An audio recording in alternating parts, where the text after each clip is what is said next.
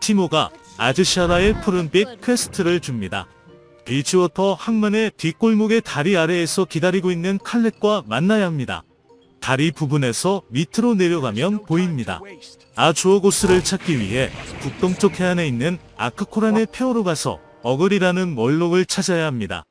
동쪽 모래톱으로 가면 정령들이 물을 가지고 있다며 그곳으로 가라고 합니다. 흡수력이 끝내줘의 퀘스트는 아크코란의 폐허 동쪽에 있는 사악한 물방울 정령에게서 끓어오르는 작은 물방울 20개를 모으는 일입니다. 엘다라의 탑에서 끓어오르는 물의 군주를 소환하여 끓는 물의 보주를 획득하는 퀘스트를 받았습니다.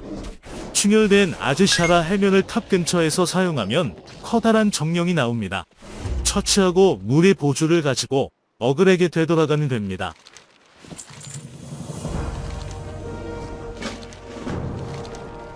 두 가지 퀘스트를 받았습니다. 사소한 부탁 퀘스트는 아크코란의 폐허에서 카우피콩 10개를 모으는 일이고 너무나 무례해 퀘스트는 마크리니 마크로라 10마리를 처치하는 일입니다.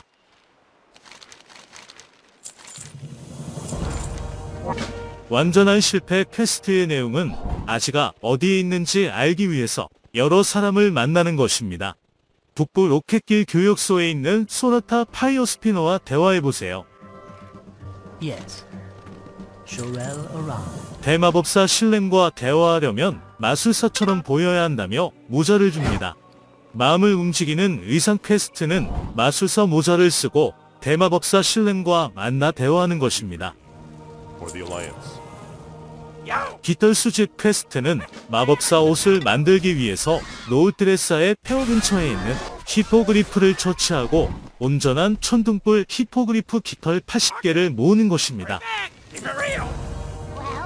흐드러진 백리향 퀘스트는 놀드레사의 폐허 주변에서 살아있는 분노의 백리향 8개를 모은 후에 코알라 휘슬브레이크에게 가져오는 일입니다.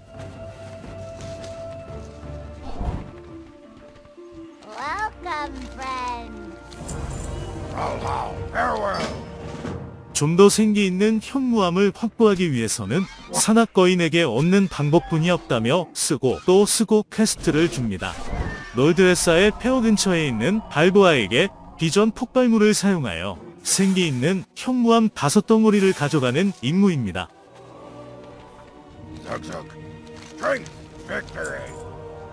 신비한 개인 조수를 이용하여 12마리의 레가시 악마를 벌레로 만든 다음 밟아버리는 퀘스트를 받았습니다. 신비한 개인 조수의 변이 곤충 스킬을 이용해서 레가시 악마를 벌레로 만들 수 있습니다. 벌레가 된 악마는 밟거나 한 대만 쳐도 죽습니다. 이런 방식으로 12마리의 악마를 벌레로 만들어 죽인 다음에 대마법사 실렘의 환영에게 돌아가 대화하면 퀘스트는 끝이 납니다. Greetings. 교본 작업 퀘스트는 남동쪽에 있는 레가시 야영지에서 포기자의 교본을 되찾는 일입니다. 여러 곳에 교본이 놓여 있는데 진짜를 찾아서 가져오면 됩니다. 포기자의 교본은 초심자들이 실렘의 시험에서 살아남게 만들기 위해서 반드시 필요한 책입니다. 이번 퀘스트는 수락과 함께 비전 봉우리로 이동됩니다. 실렘의 환영은 시험을 치를 시간이 되었다고 하면서 깨달음을 얻어보라고 합니다. 제대로 밟기 퀘스트는 비전 봉우리를 오르는 동안에 마력 수송관에서 마력을 6번 충전하면 됩니다. 보이는 것과 같이 마력 수송관 표시가 나오면 클릭해서 충전하면 되고 도약 장치를 이용해서 건너갈 수 있습니다. 충전 확인 방법은 버프를 보면 몇 번 되었는지 표시되며 잠깐 동안 몸에 마력 표시가 나타납니다. 불의 시험 퀘스트는 화염 차원문 돌을 클릭한 후에 차원문으로 들어가면 시작됩니다. 동시에 어떻게 해야 하는지 설명이 나오는데 간단하게 설명하면 불길이 올라오지 않는 원 안으로 들어가서 10회 성공하면 됩니다. 완료 메시지가 뜨면 실렘의 환영에게 되돌아갑니다. 서리의 시험 퀘스트는 서리 수정을 만져서 차원문을 열고 들어간 후에 시험을 시작하게 됩니다. 서리 불꽃과 접촉하지 않고 얼음의 정수 20개를 모은 후에 빠져나오는 것입니다. 얼음의 정수는 투명한 공처럼 생긴 것을 지나치면 얻게 됩니다. 서리 불꽃에 닿으면 얻은 정수가 사라지며 바닥에 있는 문자를 밟게 되면 공중으로 도약하게 됩니다. 전부 모은 후에는 신렘의 환영에게 돌아가면 됩니다. 암흑의 시험은 흐느끼는 영혼 20개를 그림자의 룬으로 유인해서 처치하는 일입니다. 암흑 수정을 클릭하고 차원문을 통해서 시험장으로 이동하면 시험과 관련된 설명이 나옵니다. 암흑의 시험을 시작하고 싶으면 재단을 클릭하면 됩니다. 이제부터 유령들을 룬으로 유인하면서 20개를 파괴하면 시험이 끝납니다. 이번 시험도 디버프를 통해서 횟수를 확인할 수 있습니다. 모두 완료 후에 대마법사 실렘의 환영에게 돌아가세요. 연구 가치도 있는 데다 지켜보고 있자니 즐겁다며 차원문을 열어 놓았다고 합니다. 들어간 이후에 조안나를 찾으면 대마법사 실렘에게 안내를 받게 될 거라며 탑에 초대했습니다. 실렘의 실머리 퀘스트는 조안나와 대화하는 것입니다. 분명하지 않은가요? 퀘스트는 아나라와 아주오고스를 찾는 것입니다. 조안나 뒤쪽의 차원문을 이용하여 영혼의 치유사 아나라와 아주오고스를 찾을 수 있습니다.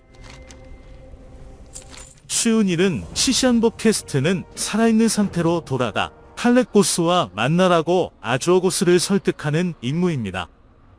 대화를 시작하게 되고 여러 이야기를 나누게 됩니다. 이제 칼렉고스와 만나도록 설득해서 아즈샤라에 드리운 검은 용군단의 위협을 제거해야 한다는 말을 끝으로 검은 담비 마루에서 만날 것을 약속받고 퀘스트는 끝이 납니다.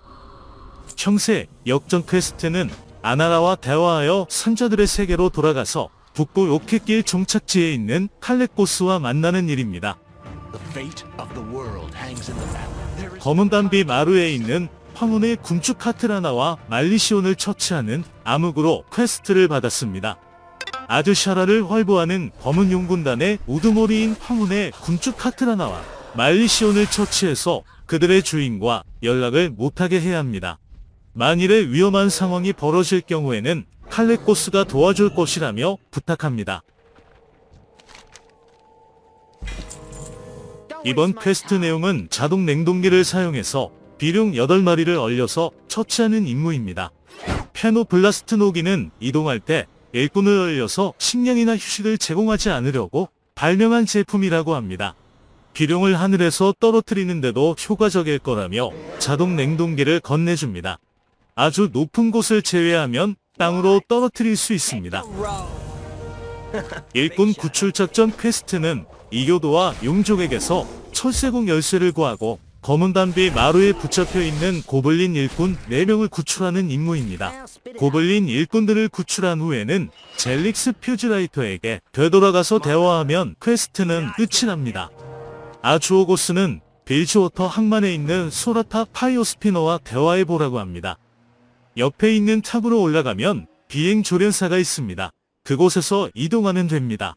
소라타 파이어스피너를 만나서 대화하면 색바랜 마술사 모자를 얻을 수 있습니다. 수습생의 모습으로 변신하는 장난감입니다. 작전 완료 시 생존한 병사를 대상으로 1골드씩 지급하며 사망 시에는 어떤 수당도 지급하지 않는 작전명 생선 다르기 임무를 지원하기 위해서 사령관 몰로토브에게 가야 합니다. 신속 배치 퀘스트는 대장 데소토에게 보고하여 병력에 투입되는 것입니다. 쓸데없는 얘기는 그만하고 앞에 있는 로켓을 타고 조각난 해안으로 이동해서 부관 드렉스에게 보고하라고 합니다. 해안에 아직도 나가들이 많이 남아있다며 해안 청소를 하라는 임무를 받았습니다. 조각난 해안에서 원한 꼬리 나가 12마리를 처치하고 돌아오면 됩니다. 해변 여기저기에 누워 죽어간다는 핑계를 대며 임무를 하지 않는 병사들이 있다며 신호용 권총을 사용해서 사제가 출동해 치료하도록 만들라고 합니다. 거룩한 낙하 퀘스트는 부상당한 병사 8명을 찾아서 구출하는 임무입니다. 야전 진급 퀘스트는 엘다라스 폐허 전진 기지에 있는 대장 토르크에게 보고하면 됩니다. 아직도 고동치는 심장 퀘스트를 받았습니다. 엘다라스 폐허 중앙에서 아크코르크의 심장을 획득하는 임무입니다. 아크코르크의 후예는 정예라서 고블린 분대를 불러서 같이 싸우면 쉽게 잡을 수 있습니다. 아크코르크의 심장을 획득하고 대장 토르크에게 되돌아가면 퀘스트는 완료됩니다. Yo? Hey, 하사관 젤크스는 고블린 군대와 함께 엘다라스페어에서 원한 꼴이 나가 30마리를 처치하라며 박멸 임무를 줍니다. 그리고 고블린 군대가 사라지면 고블린 군대의 신호탄을 이용해서 다시 부를 수 있습니다. 주의부에서 교육받을 때 뱀을 잡으려면 머리를 잘라야 한다고 가르쳤다면서 진말로의 신전에 있는 군주 카사루스를 처치하라고 합니다. 이번 퀘스트도 고블린 군대 신호탄을 이용해서 군대원들과 같이 잡으면 쉽게 잡을 수 있습니다. Lost. 필요해 퀘스트는 원한꼬리 마법석 3개의 폭탄을 설치하는 동안 보호하고 마법석을 파괴하는 임무입니다. 마법석 근처로 이동하면 해치가 티코에게 날려버리라고 합니다. 이후에는 폭탄을 설치하고 근처 나가들을 처치한 후에 마법석이 폭파됩니다. 세 곳을 폭파시키고 하사관 젤크스에게 돌아가면 퀘스트는 완료됩니다. 상품 운반 퀘스트는 엘다라스 폐허에서 명가의 서판 12개를 모아서 토라 할로트릭스에게 가져가는 일입니다. 이번에도 고블린 군대 신호탄을 이용해서 고블린 동료들의 도움을 받으면서 퀘스트를 진행할 수 있습니다. 대장 토르크는 일이 잘 마무리된 것 같다며 작별 인사를 합니다. 상륙호각 퀘스트는 자이로콥터를 타고 빌지워터 항만으로 간 후에 베들럼 아저씨에게 아크코르크의 심장을 가져가는 일입니다. 발로르모크로 출격하는 다시 하늘로 퀘스트를 받았습니다. 와이번을 타고 가도 됩니다. 초우그는 탈렌디스 초소 북쪽에 있는 타바라에서 고블린 암살자인 슬링키 샤프시브를 만나라는 임무를 줍니다. 슬링키 샤프시브와 대화에서 탑으로 올라가 대장 그룬발트를 암살한 후 그의 머리카락을 획득하는 일을 맡았습니다. 탑 아래 쪽은 대장의 정예 호위병들이 순찰하고 있어서 곧바로 탑 꼭대기로 올라간다며 임무를 시작합니다. 그룬발트의 머리카락을 획득한 이후에는 초우그에게 되돌아가서 보고하면 퀘스트는 끝납니다. 공포의 향연 퀘스트는 탈렌디스 초소에 들어가 탈렌디스 수호병 12명과 탈렌디스 파수꾼 6명을 처치하는 것입니다. 전부 처치한 후에는 발로르모크에 있는 초우그에게 돌아가서 보고하고 퀘스트를 완료하면 됩니다. 특수부대 투하 퀘스트는 탈렌디스 현자 5명을 처치하고 탈렌디스 초소 어딘가에 있는 현자의 소환의 돌을 찾는 일입니다. 이 일을 하게 되면 특수부대를 순간 이동시킬 수 있습니다. 반대로 발로르모크로 순간 이동도 할 수 있어서 편하게 이동이 가능합니다. 크롬은 꼼짝 못해 퀘스트를 주면서 탈렌디스 초소 남쪽 끝에 있는 나이트 엘프 탑에서 폭격대장 스무크스를 찾으라고 합니다. 대포의 사정거리가 안 돼서 직접 가서 폭파할 수 있도록 탑 아래쪽 세 곳에 기폭장치를 설치해 달라며 폭파 준비 퀘스트를 줍니다. 단추를 눌러라 퀘스트는 옆에 상자에 있는 버튼을 눌러서 폭발물을 터뜨리면 완료 메시지가 나타납니다. 이후에는 발로르모크에 있는 크로움에게 되돌아가서 대화해야 합니다. 조종사가 음식을 잘못 먹고 탈이 나는 바람에 대신 임무를 해달라고 합니다. 하늘을 뒤덮어라 퀘스트는 와이번을 타고 탈렌디스 초소 위로 날아가 사령부를 파괴하고 탈렌디스 수리검 투척기 6대를 폭파시키는 것입니다. 모든 임무가 끝난 후에는 신참 폭격수 헤켈에게 돌아가서 대화하면 퀘스트가 끝이 납니다. Oh! 정찰병의 보고에 따르면 나이트 엘프 하늘 추적자의 비행 조련사이자 적군의 실질적 지휘관인 자로데누스가 심각한 부상을 당했다고 합니다. 이때가 기회라며 적의 지원군이 오기 전에 탈렌디스 초소에 있는 사령관 자로데누스를 처치하고 그의 머리카락을 가져오는 임무를 받았습니다. 이번 임무를 성공한다면 아즈샤라는 우리 손에 떨어진 거나 다름없다고 합니다. 빠른 사람이 임자 퀘스트는 조각난 해안에서 값진 부동산이 될 만한 장소 세 곳에 러커스가 준 영토 점유의 깃발을 꽂아야 합니다. 남쪽의 나가탑과 해변 바로 옆에 탑 그리고 바닷가 북쪽 끝에 있는 폐허에 깃발을 꽂으면 투자 비용의 10배는 벌 수 있다며 쑥대밭이 되기 전에 지역을 확보해 놓으라고 합니다. go, go! 나이트 엘프들이 불모의 땅에 있는 우리 영역을 습격하려고 계획 중인 것 같다며 경계를 넘어서 정찰병과 얘기해보라고 합니다. 잿빛 골짜기의 쿨그 고어스페터와 대화하는 임무를 받았습니다. 아주샤라 경계의 잿빛 골짜기에 있는 쿨그 고어 스페터와 대화해 모션의 막루로 이동한 뒤 카드라크에게 보고하는 임무를 맡았습니다.